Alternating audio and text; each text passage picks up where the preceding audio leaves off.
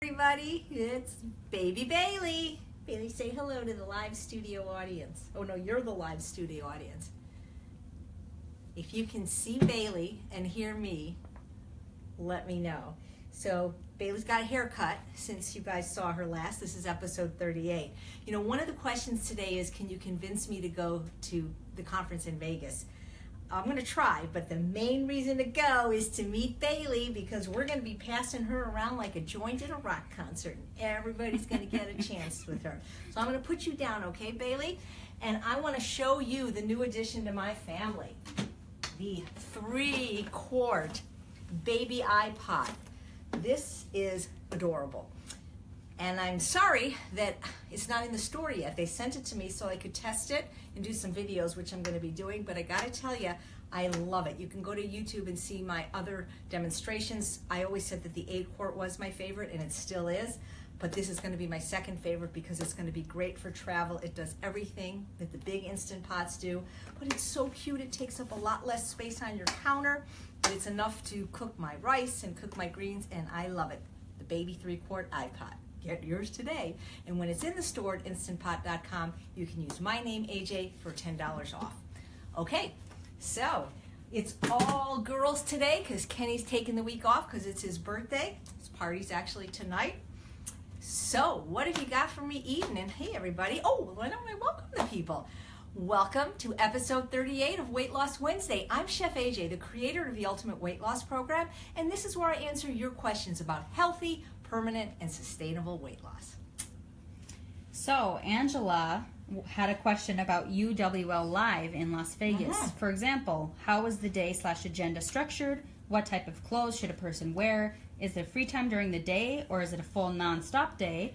Is it interactive or all lectures or both? Is JP giving exercise Yes, classes? yes, yes. And what could you tell someone who's on the fence to help them to decide? Okay, so I'll answer the first part of that question first.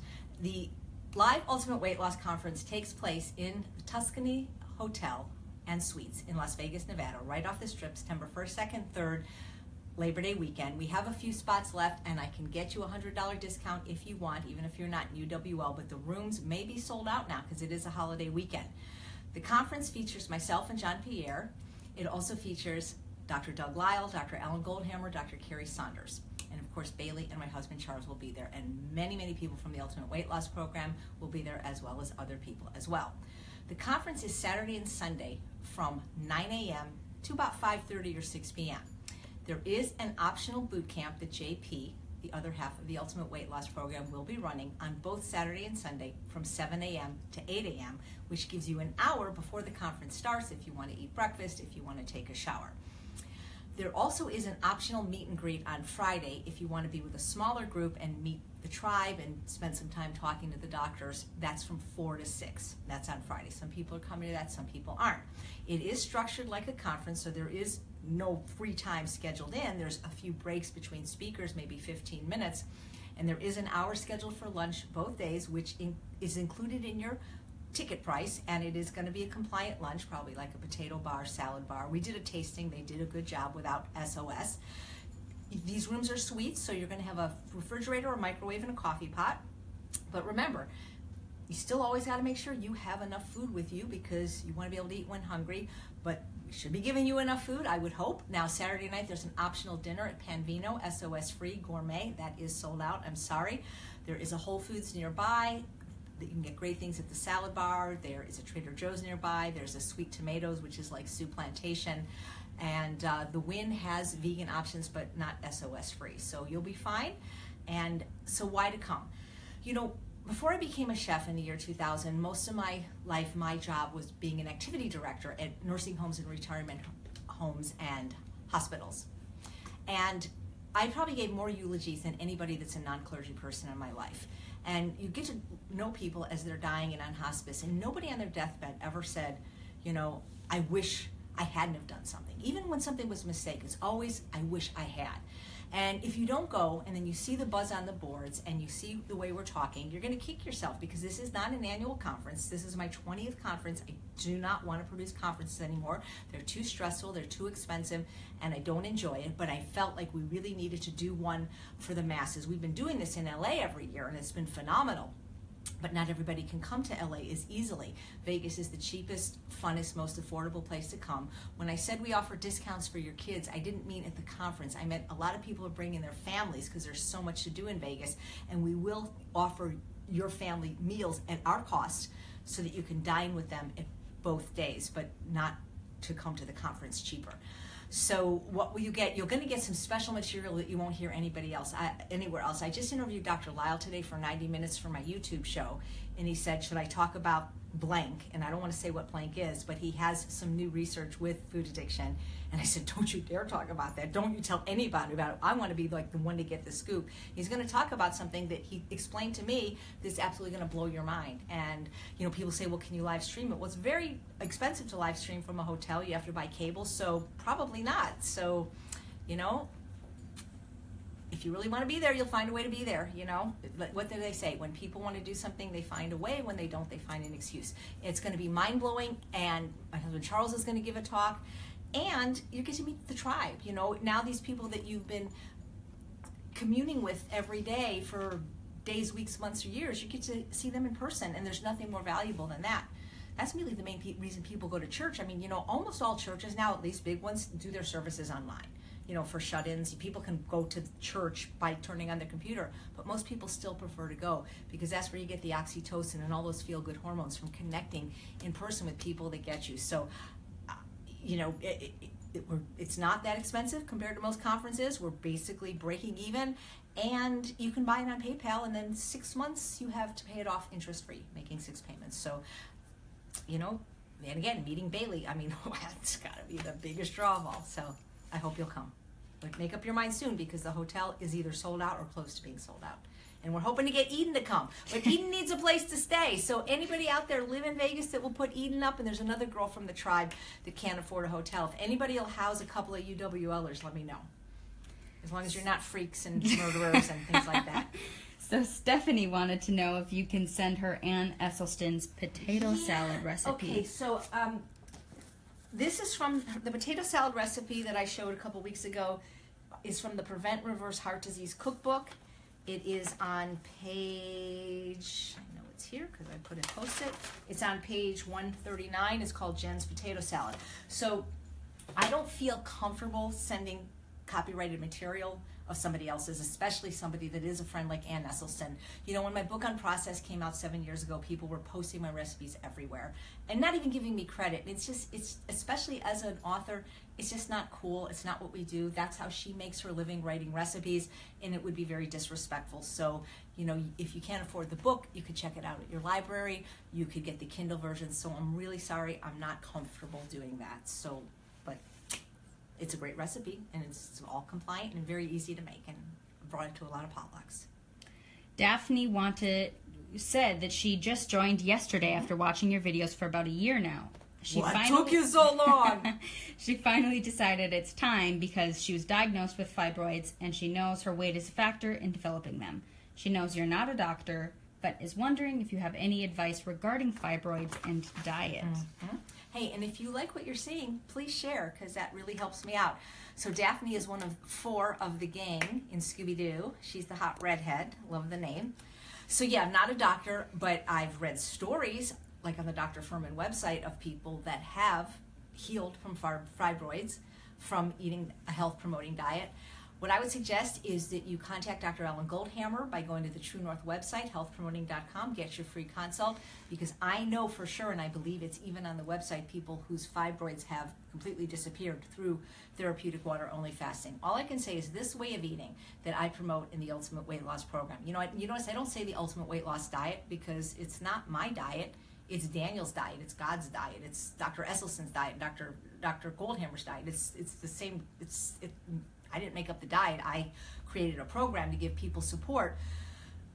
There is nothing that it doesn't improve. I mean, you know, if somebody's schizophrenic, no, will they become non schizophrenic? Probably not. But I've heard even things like severe mental illness has gotten somewhat better. So the thing is, is don't try it. Try it for a long time. See if it improves. But if it doesn't on its own, that's where therapeutic water only fasting can come in because you know, people that are doing a pretty good job on the diet sometimes still have unretractable high blood pressure, even if they go salt free. But then doing that water fast at True North just kicks it up a notch. There was a lady, and I believe she's on the website, Christina, a dentist who was in a car accident and had a concussion and had a headache for like seven years. And it took two 40 day water fasts, and she's fine now.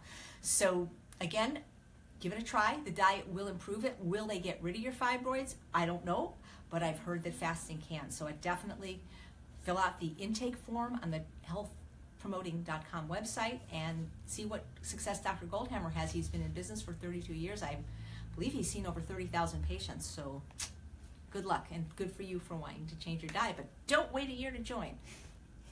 Doris asked, How would you handle being in a situation of two different families using one kitchen when they eat differently? Okay, so I would refer Doris to YouTube. Please feel free to subscribe to my channel, Chef AJ. And there's two videos we recently did called Mastering the Environment Part 1 with Dr. Doug Lyle and Mastering the Environment Part 2 with PCRM cooking instructor Sharon McRae. So the way I would handle it might be different than the way other people would handle it, but you know, my kitchen, my rules, take it or leave it. I always believe you defer to the one with the problem. Not that not that uh, eating healthily should be considered a problem, but if somebody's a food addict and can't have certain foods, you defer to them. You eat the crap outside the house, and so you defer to the healthiest person in the equation. And if somebody has a different eating style, you make one meal that's compliant, and if they want to add something non-compliant, then they have to go out procure it themselves, buy it themselves, pay for it themselves, and cook it themselves. That's how I respond because I'm going to tell you, I have never seen anybody, and again, I've only worked with a couple thousand people, pales in comparison to how many McDougall, Goldhammer, and Lyle have worked with, but I have never seen one person that had a clean environment, and I mean really clean, that wasn't successful. On the other hand, when the environment isn't clean, it's very, very hard to be successful. Impossible, maybe not, but extremely difficult. So that's how I would do. You defer to the healthy person, and to the unhealthy person, they have to go out and get it. That's and my answer is never going to change, especially because I interviewed Dr. Lyle for 90 minutes today, and he concurred once again. Environment's the number one predictor of your success. So, how bad do you want to be successful? You got to clean up the environment if you do, because you can't change your behavior until you change your environment. And I won't even work with somebody locally unless I can throw away what I want in their house and do spot checks because they're not going to succeed, or at least not to the degree that the Shadas and the Heathers and the Tammys and the Kristens and the BJs have succeeded to. So, Letha said, I know the general advice is to eat your food whole mm-hmm. with the water and fiber intact, mm-hmm. and the sweet smoothies are generally not considered helpful for weight loss. But I can't recall you saying anything about blended soups. I've been eating blended soups as my vegetables for breakfast for the past few days, so I'd be interested to hear your thoughts. I'm taking tomatoes, carrots, collard greens, garlic, and ginger, and then blending it in the Blendtec. Then simmering it, simmering it on the stove a bit with some onion flakes and Italian seasoning. Yum. I have IBS and find I do better with veggies in general if they are cooked, peeled, and chopped small. The soup seems to agree with me. Great. I have IBS too. And if you have a Blendtec, Letha, why are you simmering it on the stove? Because a Blendtec's a high-powered blender like a Vitamix. You could run it for like three minutes and then you'll have hot soup. I'm just trying to save you dirtying another pan for cooking.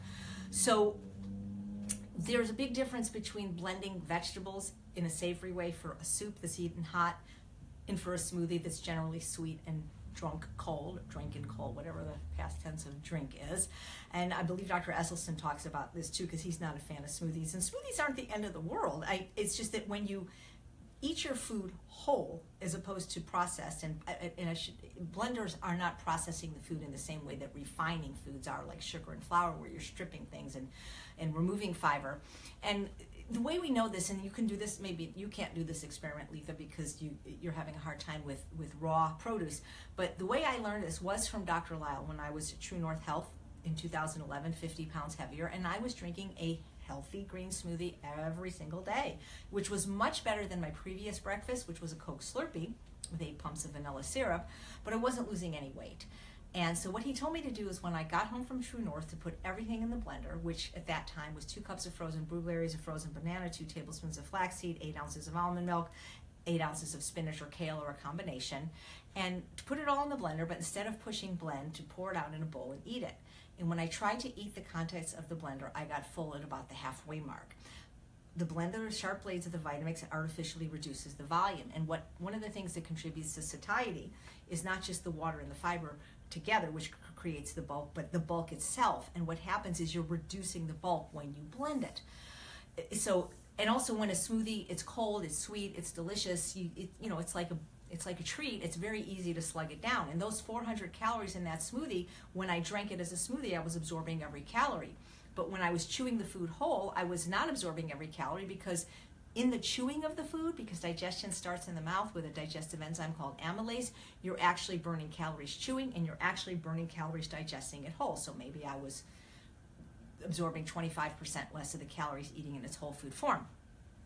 That said, soups are a little bit different because they're, they're eaten hot, so you're not just slurping it down, but also there's no sweet involved. I mean, there's some sweetness, of course, to tomatoes and other vegetables, but it's not like a sweet beverage that, so it's not the same. You're generally eating it with a spoon, you're not drinking it with a straw, so it's perfectly fine. And again, if anybody has digestive issues, whether it's IBS or Crohn's or, or you know, um, diverticulitis and stuff, you're going to have a hard time eating large volumes of vegetables, especially at first, especially if they're raw. So cooked is a great way to do it, and soups are a great way to do it. Even people that aren't on this program, they've proven that soup is one of the ways to lower the overall caloric density of your meal.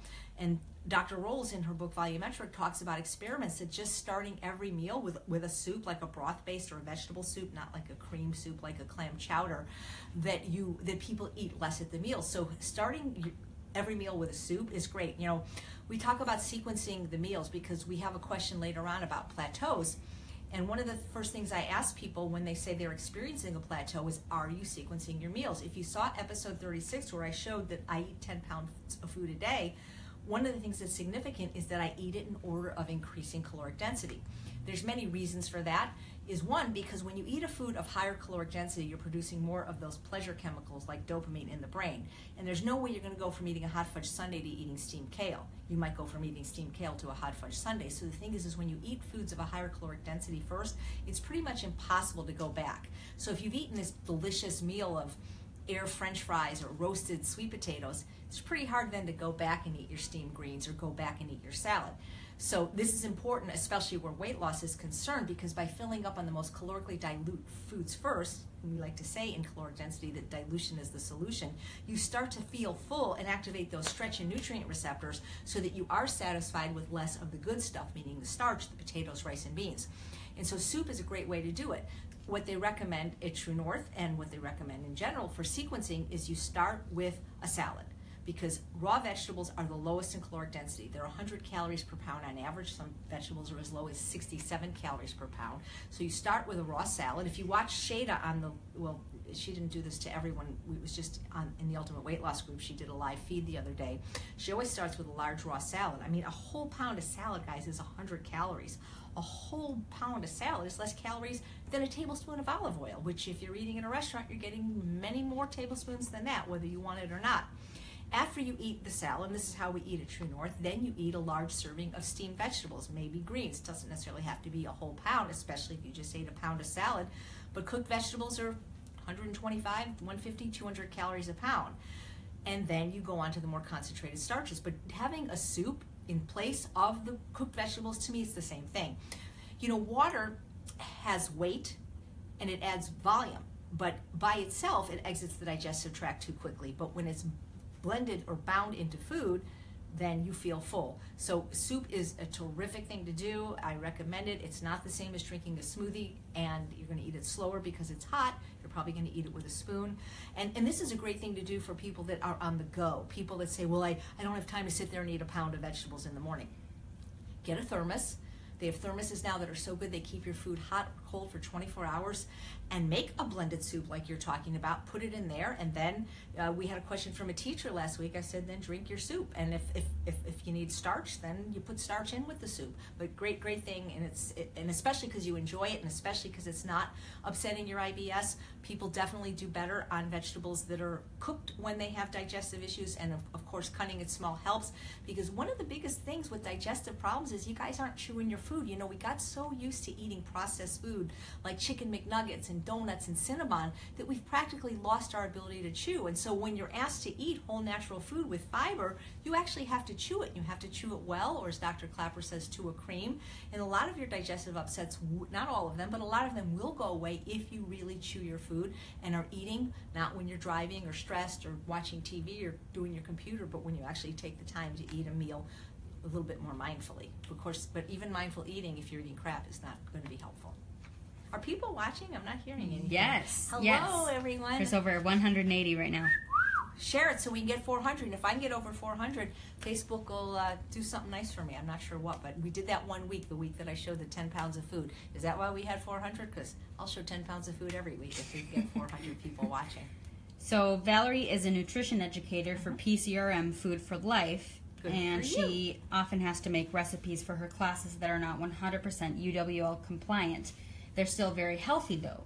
She has classes starting in the fall and needs to practice making the curriculum recipes and taste them to know what she's feeding her students. But that will mess with her compliance goals. Sure. Of course, tasting the meal to check it doesn't mean she'll have to eat the whole batch.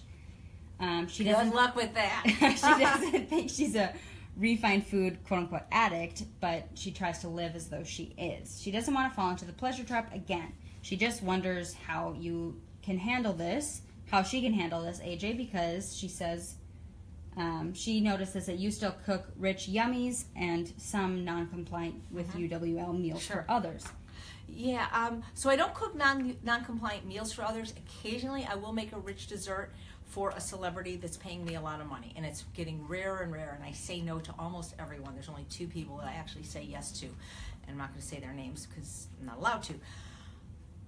But I don't cook anything that's a trigger for me. So in other words, I'm allergic to soy, like really badly. And so I'm not going to eat soy no matter what. So all these rich desserts I'm making are soy based, so there's not a chance in hell that I'm going to taste them.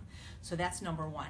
Uh, uh, number two, I would encourage you to talk to Sharon McRae. She is in Ultimate Weight Loss, so you can tag her there or go to her website, Eat Well, Stay Well, or I can give you her email. Let's just it's Sharon at Eat Well, Stay Well. There's a dash between Eat Well and Stay Well because she is a PCRM cooking instructor and she does not make anything non-compliant.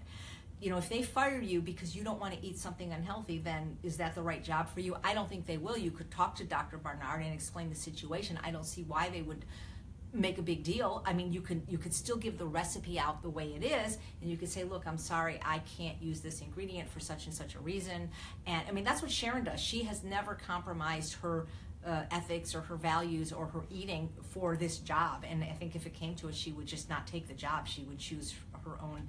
um, I mean, if the, the thing is, they care about that the food is delicious, and so from what I understand, some of the recipes maybe have some agave or or salt. You know, I- mean, maybe you don't know. It depends how long you've been doing UWL. We can make everything taste delicious without it. So if you if you have trouble tweaking a recipe for your class, I'm pretty much sure I can help you. And I think that uh, that's one solution. The other solution is is you don't have to taste it. You can get somebody else to taste it, somebody you trust. And, and ask them if it's good, you know. So I don't, you know. Um, one of the reasons I quit my job as a pastry chef is when I found out that food addiction was real.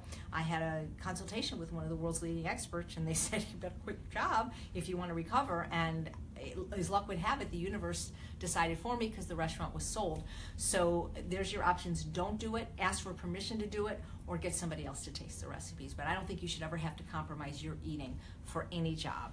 Ever, ever. And that's why so many people struggle in UWL because they own bakeries that aren't even vegan bakeries or they're working in restaurants. It's that's your environment for eight hours a day. It's really going to be hard. So you know you don't want to have those ingredients around even for the class so don't do it. That's my advice. Don't do it. No job is worth compromising any of your goals for. And you know how hard it is to crawl out of the pleasure trap once you fall in. That's a big sinkhole so be careful.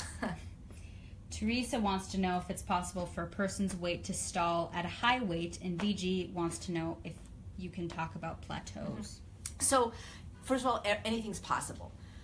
But if you were able to lose weight in the vortex, and I call that that because that's what Dr. Lyle and I are calling Santa Rosa, because I get so many clients that have actually said to Dr. Lyle or Dr. Goldhammer in front of me, I do everything AJ says and I can't lose weight. And then they go to the Vortex, which is Santa Rosa, California. And they attend either the McDougall 10 day program or they go to True North, and all of a sudden they can lose weight my program, or at least the diet on my program, is the same diet that they have served and taught at True North for 32 years. Dr. Lyle always says, and you again you can watch this one video that I recommend and really watch it and watch it over and over. It's called Losing Weight Without Losing Your Mind. It's on YouTube and it's also on his website Esteem Dynamics. The versions are slightly different. There's a little bit of information to gain by watching both of them. He says anytime somebody's overweight, that means there's always a little bit too much rich food in in the diet for that person. We're genetically different if you have curvy genes, if you're from a large family, it's unfortunate that you're not going to necessarily lose weight as quickly as other people. And so that's why you have to tighten the screws and be even more diligent. Now, if you had told me that when you were at True North fasting or eating, you lost no weight, I would say, hey, we got a real problem here. You need to see an endocrinologist, talk to one of the True North doctors. But if your weight is stalled at a weight that's too high, which I think you're still 50 pounds, I mean, I don't know, you're still overweight by your own admission and by the number you told me is you are eating too much to to lose weight. You know, it's still a matter of calories. You have if you eat more calories than you need, you'll either maintain well you'll gain weight, and if you eat the same amount of what you need, you'll maintain your weight, and if you eat less, you'll lose weight. And so, if it's not working what you're eating, you need to change it up. You might need to do some intermittent fasting. We have a question about that coming up.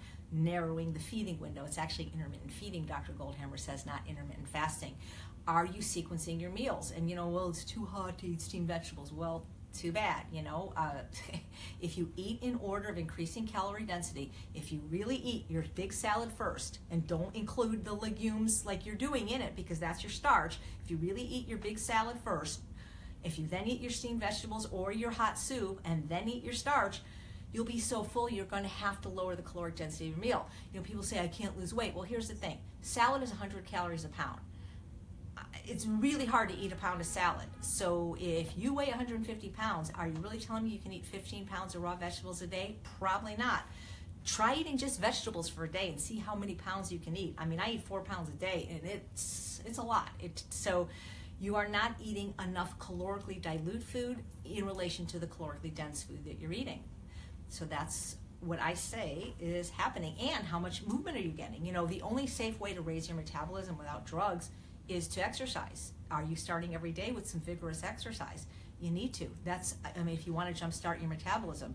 So, yeah, plat. I mean, there's, in which video does Dr. Lyle talk about plateaus? I, I can't remember which one. Maybe it was. Um, a, I think it was during interviews I've seen him talk about that. Where he talks about them, and they absolutely can be broken. You know, Shada had one for seven months. And, and the reason I know that anyone can lose weight is because Shada, what she talked about in her live feed, Shada was already at a great goal weight for her height, and she has lost over 100 pounds now in the last five years, kept it off on the Ultimate Weight Loss Program. She has having a kitchen remodel. She'd have lost eight pounds just because she doesn't have a kitchen. I mean, she didn't need to lose weight. She wasn't trying to lose weight. But because she can't cook anything, she's eating just basically raw salads and things that she can make in her Instant Pot. She lost eight pounds. So again, you know, I've done experiments on Charles without his knowledge where I've changed the caloric density of his food and he didn't know and he lost more weight.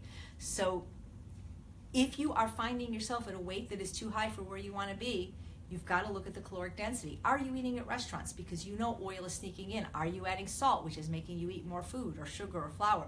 There's if you really keep an honest food journal. I mean, a really, really honest one, because Dr. McDougall says that all dieters are liars. I'm not saying you're lying. If you're really honest about it, the clues are in there as to why your weight's not budging. Because if you have more weight on your body than you want, and you're not losing any weight, either the, the percentage of fat in the diet is too high or you're just you're not eating in caloric density. You have to do that. You know try eating just fruits and vegetables for a day like we recommend in mastery. I don't recommend that for people with a history of anorexia or bulimia or restricting and you'll see your your weight will move. And eden we didn't write this on the list but i forgot because when i talked about high fat you know marley had a question about success that people were having on ketogenic diets or vegan ketogenic diets and they were losing weight fast. You know i'm going to be interviewing dietitian Brenda Davis soon, and we're going to talk about this because the truth is, is you can lose weight on any dietary style. You can lose weight on a high-fat diet, on a low-carb diet, on any kind of diet. You can on a weighing and measuring program. All diets work. That is not the problem. The problem is the sustainability. And if you look at the medical research, which I encourage you to do, sometimes you have to pay to look at these articles. And when I post them, some you guys say, "Well, they want thirty-five dollars." Well, you can't get in if you haven't subscribed. But what the research is showing is that while you can lose weight on any dietary style, the low-fat diet is the most sustainable for weight management. And this is from James Hill, who runs the National Weight Control Registry. And the reason is is because having a low-fat diet means you can have a, a, diet of a greater volume of food because fat is so calorically dense that you can't eat as much of it. And so when you're on a low fat diet, you get to eat more food and therefore it's going to be more sustainable. So these people that are on these ketogenic diets, these low carb diets, they always have to have cheat days because they're really still hungry and they're not satisfied with their food.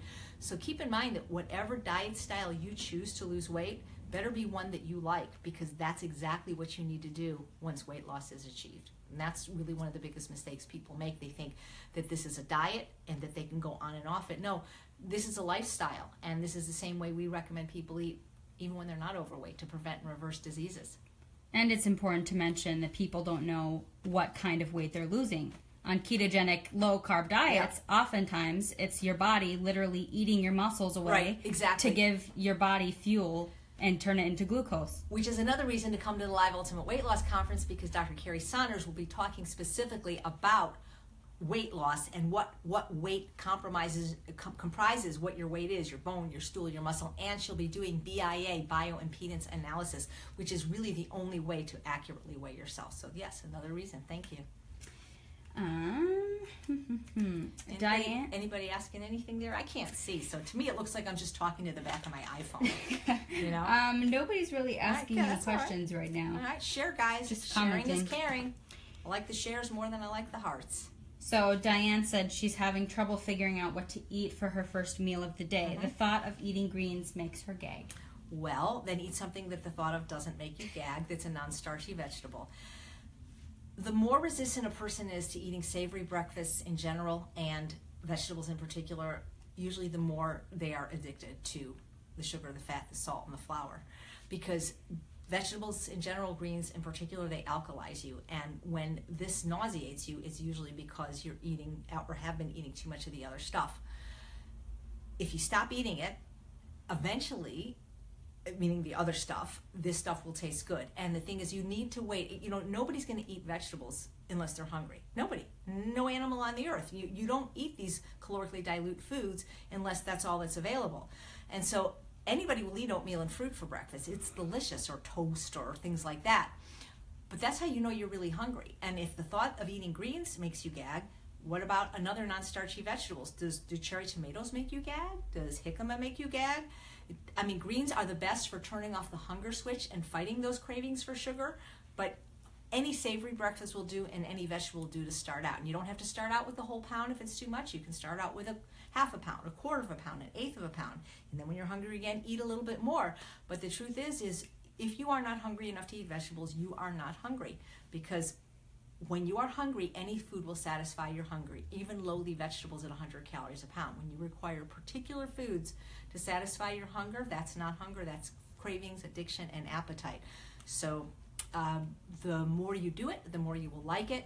And people who once said this, the thought of it made them gag, it's now they're addicted to this. It's the favorite part of their day, and they can't imagine not starting their day with it. And one of the things I discussed in the interview with Dr. Lancaster today is that um, it, it, when you have a habit like that, you feel proud.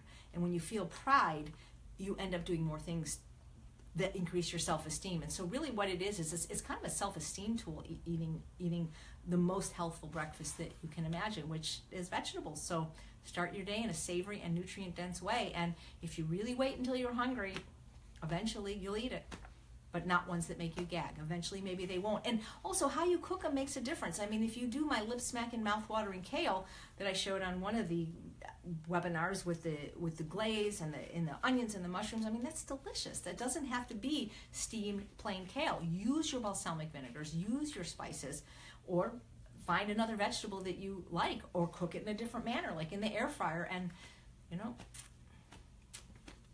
So Susan wants to know if intermittent fasting is going to slow her metabolism down.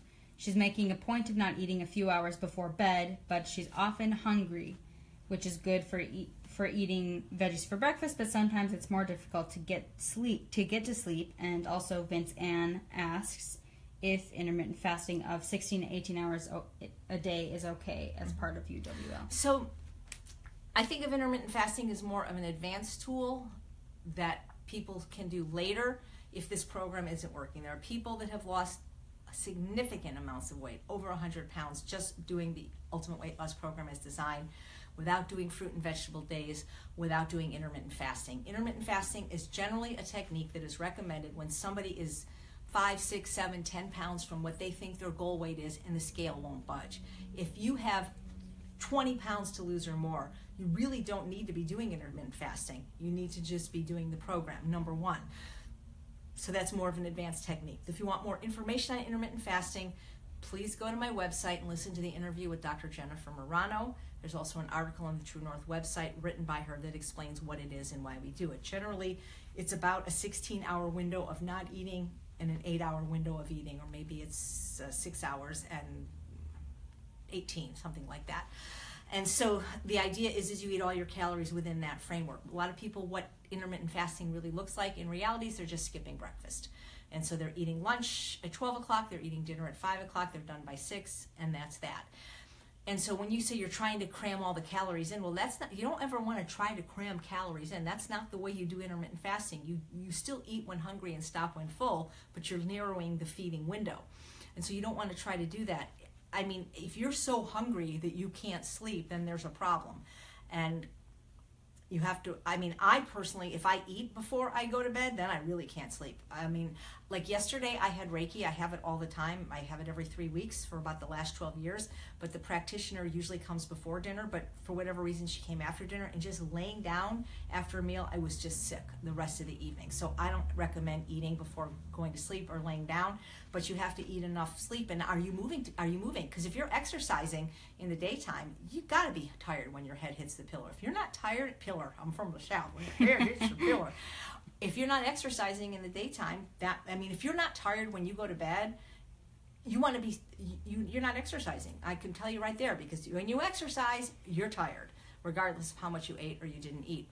And it's amazing because uh, the other day i think it was monday i always walk bailey two hours a day once in the morning once in the evening and then i spend three days a week. Well monday i forgot what happened but i didn't walk her at all Uh, somebody charles did it maybe i can't remember the circumstances but literally because i got no exercise i didn't get hungry until 4.30 p.m and then I ate, and then dinner was it's like my my feeding window was like three hours. It's just incredible.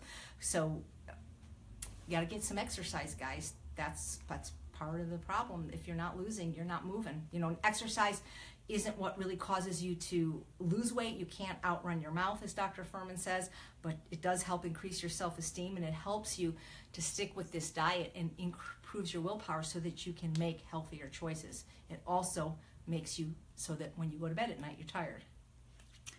Um, Mary Lamb is watching live and she asks, Can you ever drink an occasional glass of wine ever again? Mm-hmm. Mary Lamb, not Mary had a little lamb. Well, Mary, it depends what your goals are. I don't recommend alcohol for women, especially if you have the BRC gene in your family, because even a very small amount of alcohol increases your risk for breast cancer and actually every cancer the world health organization no longer recommends any amount of alcohol is safe. If you're overweight if you're a food addict you certainly don't want it. If you have addiction in the family so the can you ever? Well probably you could probably do cocaine once a month or have a cigarette once a week.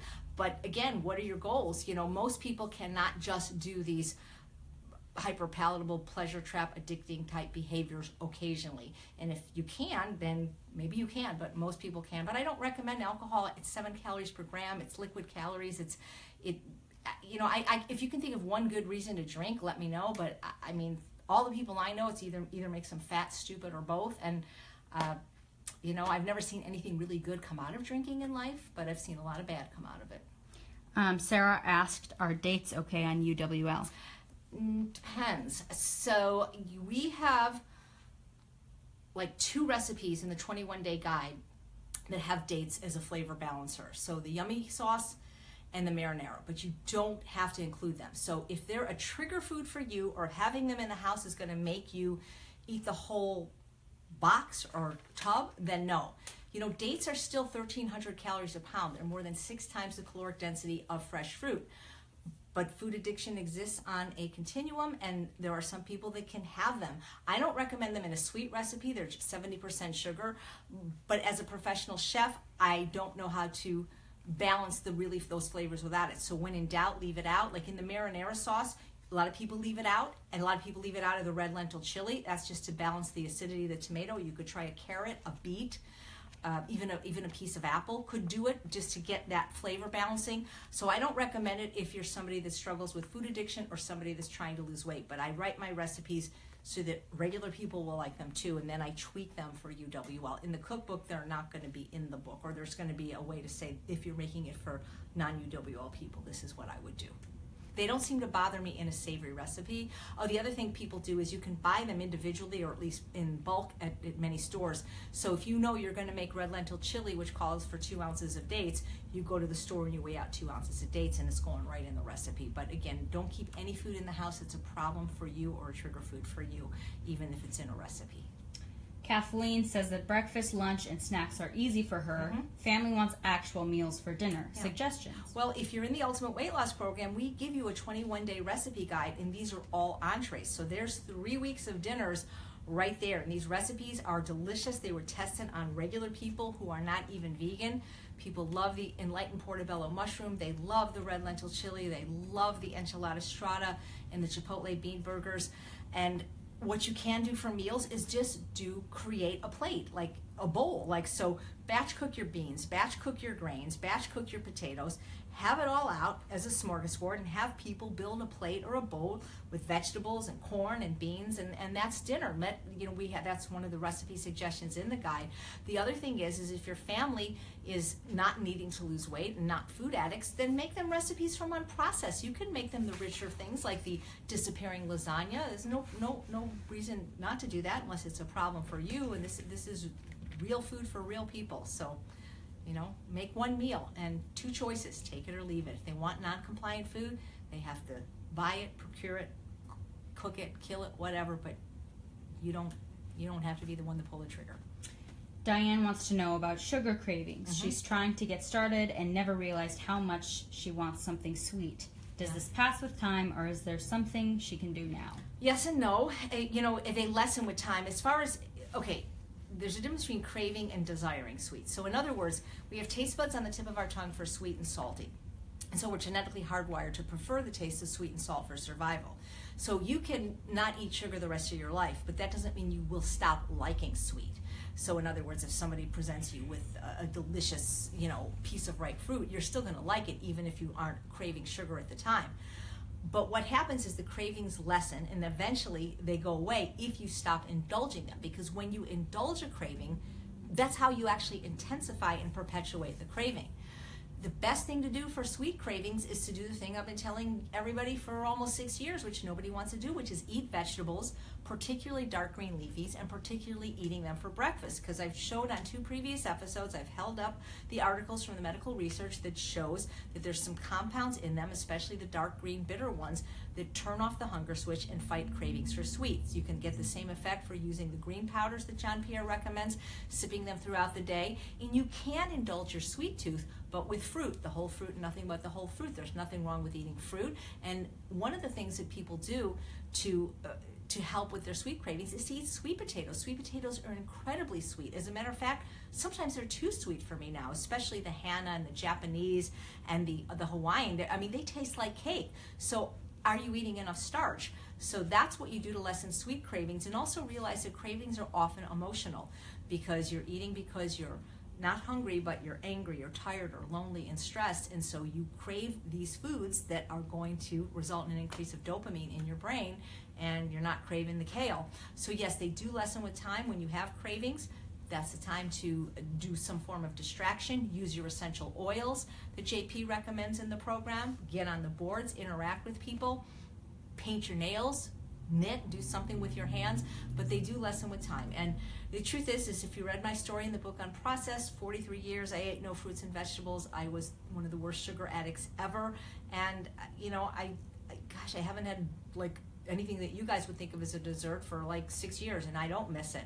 I mean, I crave vegetables. I crave rice. I crave potatoes. I, you know, the truth is, is whole natural food is delicious. It's satiating. It's satisfying when that's all you eat. But if you keep doing this dance and going back into the pleasure trap and having that occasional drink of wine, occasional rich dessert, you're never going to not crave it. The only thing that stops cravings in its tracks is abstinence.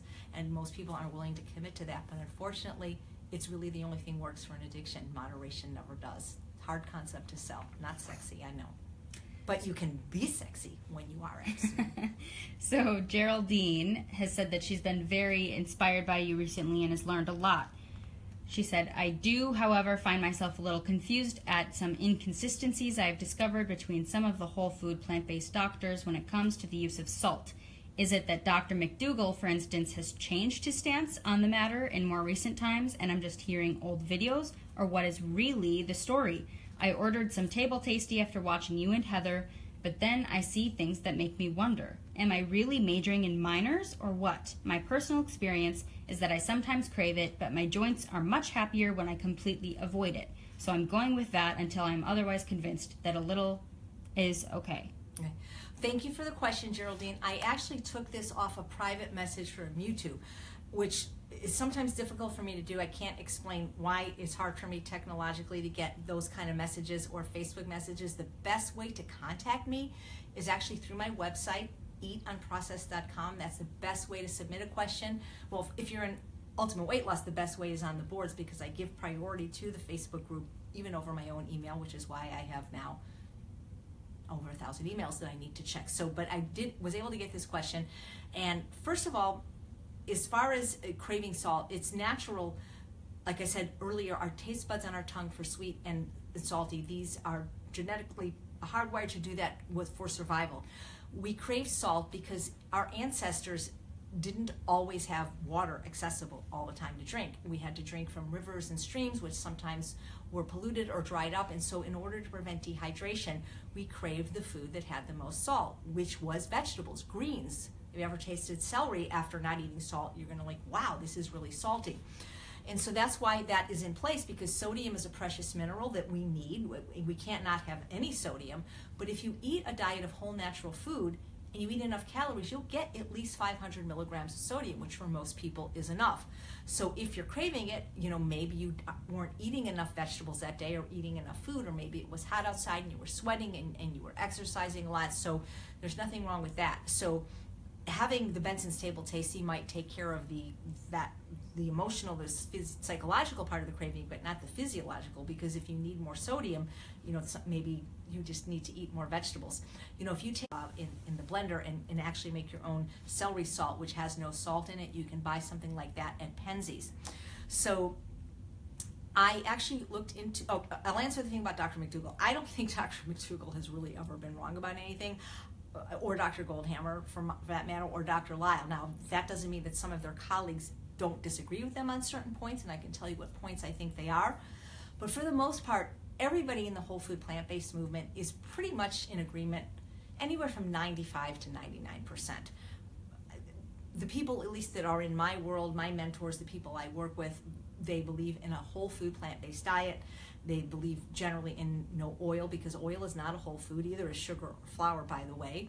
And uh, they that's where they're on the same page. Where they differ on certain things, maybe like supplementation, like with DHA, with vitamin D, those kind of things. So now, the only one that really, as far as I know, is is very strict about the no salt is Dr. Alan Goldhammer. I think that Dr. Esselstyn might have gotten stricter with the no salt. That I believe the salt also injures the endothelial, so I don't think he's promoting salt. But it's possible that some of his recipes may have a little tamari. I really don't remember. But Dr. McDougall has a wonderful lecture. I believe you can get it free on YouTube, where he talks about salt and sugar being the scapegoats. Now, Dr. McDougall isn't telling you to sit there and eat a bunch of salt because when most people get their salt, believe it or not, is not from the salt shaker, it's from processed food. There's actually more salt in bread than there are in french fries or potato chips where the salt is put on afterwards on the outside. And so the way Dr. McDougall recommends people that want to eat sugar and salt use it is as a, is a finish where you're sprinkling a little on your food. or where you're sprinkling a little sugar on your oatmeal. He's not suggesting you cook with it or eat with it. And my understanding is that the McDougall program, they don't cook with either sugar or salt, but these are offered as condiments for people to use as condiments, and that's what they're supposed to be. You know, there's no animal in nature that salts its food. And I remember recently speaking with one of the experts in food addiction who uh, runs a weighing and measuring program, and this individual said, Well, uh, salt is not a trigger the way sugar is because it doesn't have the calories and when people put it on their broccoli it makes it taste better. And i said well when people put sugar on their food it makes it taste better so does that mean we should recommend sugar to people? The thing is is salt has sugar in it. You may not know this but you can google it all iodized salt has dextrose in it. So salt has sugar in it. Now sea salt may not, but the salt that most people are eating, which is iodized, actually has dextrose in it. So you want to be careful with that. Now, if somebody doesn't have high blood pressure, doesn't have heart disease, they're healthy, you know, if they want to use the salt that way, that may be okay. Dr. Goldhammer is going to be coming out with new research and a new article soon explaining that there's more to this salt thing than just your health. He's going to be doing studies on neuroadaptation because when you whether it's salt or sugar or flour or oil or alcohol any of these hyperpalatable stimulating foods that fool your brain satiety mechanisms for most people once you have them you want them all the time and then you want more and so of salt oil and sugar and flour salt is generally the hardest for people to abstain from because they don't feel the food tastes good without it but the truth is, is if you can go a period of about 30 days, more for some people, less for others, you are able to neuroadapt, and that means neurological adaptation, where you get used to sort of if you grew up drinking whole milk and then your parents switched you to non-fat milk for a while you hated the non-fat milk you thought it was too watery but then once you got used to the non-fat milk if you got, went back to whole milk then you didn't like that it tasted like paint. well that can actually happen with salt but not if you're still eating processed food, not if you're still salting your food or eating other people's foods or eating in restaurants where they use way more salt than you'd ever use at home. But if you can go through that period of neuroadaptation, then on day 31 you eat a piece of celery or chard and you're like, oh, tastes like the ocean.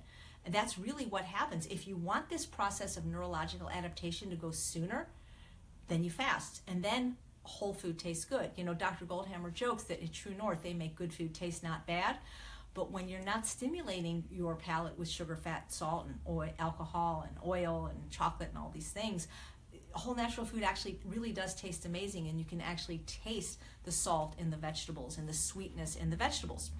So I don't think Dr. McDougall has changed his mind. I don't think he's uh, I, I don't think he's like saying that people can't eat salt if they don't want to. But let me tell you some research that I just came across, and I thought this was super interesting because you know there's a saying if you're a hammer, you see everything as a nail. And since my focus is on weight loss and food addiction, when I see an article like this, I get really excited. So it was a long article, so I just put the parts that I want to share with you today. It's called the Salted Food Addiction Hypothesis, and it may explain overeating the obesity epidemic. And it's from Dr. Mark Gold and James Cocores. Okay, so it's I'm just reading the summary, by the way, because these articles are really long, but I thought it was pretty interesting. One plausible explanation for the controversy that surrounds the causes and clinical management of obesity is the notion that overeating and obesity may only be a couple of symptoms associated with a yet to be discovered medical disorder. To introduce the salted food addiction hypothesis, this theory proposes that salted foods act in the brain like an opiate agonist, producing a hedonic reward which has been perceived as being only peripherally flavorful, tasty, or delicious. The salted food addiction hypothesis also proposes that opiate receptor withdrawal has been perceived as preferences, urges, craving, or hunger for salted food. The salted food addiction hypothesis is made manifest by individually presenting a basic review of its primary coexisting components the neurological component and the psychosocial component. We also designed a prospective study in order to test our hypothesis that opiate dependent subjects increase their consumption of salted food during opiate withdrawal. The neuropsychiatric evidence integrated here suggests that salted food acts like an, albeit mild, opiate agonist, which drives overeating and weight gain. And then it comes to different numbers, n equals, I, this I don't understand, it, but they're saying that these numbers increase during opiate withdrawal. Salted food may be an addictive substance that stimulates opiate and dopamine receptors in the brain's reward and pleasure centers more than it is tasty. While salted food preferences, urges, cravings, and hunger may be manifestations of opiate withdrawal, salted food and opiate withdrawal stimulate appetite, increases calorie consumption, augments the incidence of overeating, overweight, obesity, and related illnesses. Obesity and related illnesses may be symptoms of salted food addiction. So, this is pretty amazing because we've always known that salt was an appetite stimulant. Don't believe me? Make some air pop popcorn, which tastes like packing peanuts. You'll eat as much as you'll eat. Salt it, you'll eat way more. Any food that you like, even somewhat, you'll eat more. So we've always known because in, in his in his maximum weight loss book, Dr. McDougall, I'm pretty sure doesn't recommend salt and sugar. It's been about a year since I've read that. But salt is an appetite stimulant. You eat more food when you eat salt. And so if the goal is to lose weight, then you want to eat less food. And so if you need to put salt or sugar or any chemical on your food, you probably don't really like the taste of your food you're eating. So that's when you really need to fast. But in time, if you stop assaulting your taste buds with hyperpalatable food and high fat foods and salt and sugar, this food will start to taste amazing. So thanks for the questions. Any other questions before we sign off? Because you and I have to, we have to go. We're going for We're a walk. good. Yeah. All right. Well, guys, thank you so much for watching another episode of Weight Loss Wednesday. Please consider coming to the live conference. I'd be happy to give you $100 off. If you have questions, go to www.eatunprocessed.com. You want to sign up for my mailing list because I've got an interview with Dr. Lyle coming up that's going to knock your socks off.